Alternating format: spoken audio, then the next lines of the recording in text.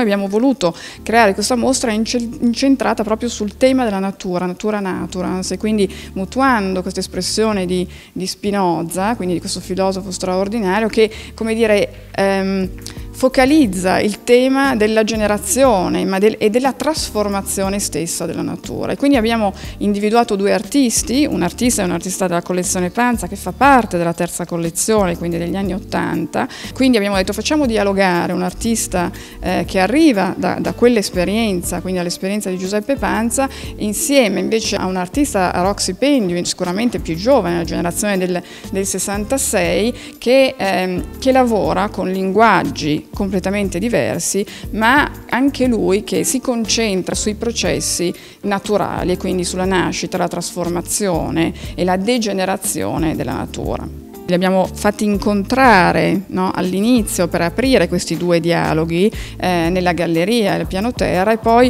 abbiamo diviso le loro creazioni eh, nelle, nelle, diverse ali, alle, alla sud e alla nord eh, dei due artisti. Quindi sono opere la cui ricerca diciamo, è concentrata dal 1987 al 2015 e, ehm, e si sviluppano questo dialogo eh, e anche la loro diversità perché bisogna anche crearsi e farsi delle domande proprio concentrandosi sul, sul tema dei processi della natura.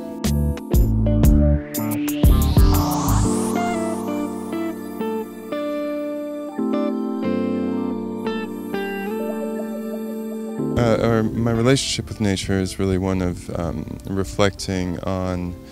the human interacting with nature and the human's um, desire to alter nature and manipulate it and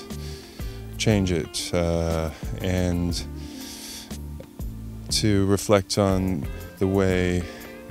that humans, even when we have the best of intentions, often have um, unintended consequences uh, that result from our actions. And um, sometimes good, but mostly for the bad in terms of our uh, unintended consequences. But um, so, um,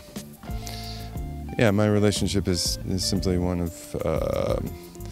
um, reflecting and meditating on our our relationship. The idea of language that's interesting to me is um, language as a, a set of elements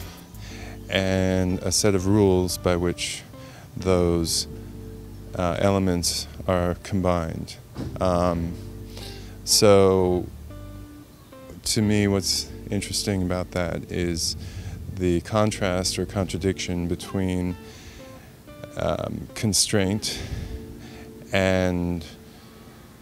almost infinite possibilities or infinite variations. So, for instance, when I um, look at a um, a mushroom species, I'm looking at at it as a language, as um, as a series of components and rules, and then creating within a field a, in, uh, infinite variability of form, um, but always within these constraints. So, um, yeah, to me, it's it's uh, the the the contradiction between freedom and restraint.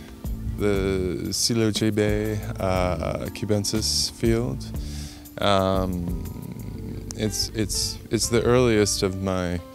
uh, mushroom works, um, but uh, it's still um, it still resonates uh, quite strongly, and I think it evokes this idea of the field and this um,